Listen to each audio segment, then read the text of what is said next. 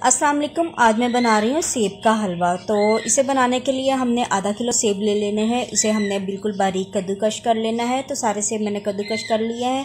अब कढ़ाई लेंगे, इसमें ऑयल डालेंगे, दो से तीन चम्मच, और इसमें काजू, बादाम और पिस्ता डाल के एक मिनट तक हमने इसे फ्राई कर लेना है। उसके बाद इसे कटोरी में निकाल लेंगे।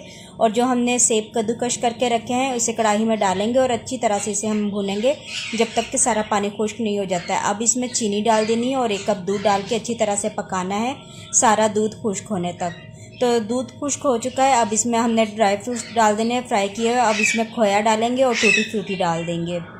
ये डालने के बाद अच्छी तरह से इसे हमने हिला लेना है और प्लेट में हम इसे निकाल लेंगे और ऊपर से हम इसे डेकोरेट कर देंगे खोए के साथ, टूटी फ्रूटी के साथ और फ्राई किए हुए ड्राई फ्रूट्स के साथ। तो बहुत ही मज़ेदार हमारा सेब का हलवा बनकर तैयार हो चुका है, आप भी ये रेसिपी ज़रूर ट्राई करें।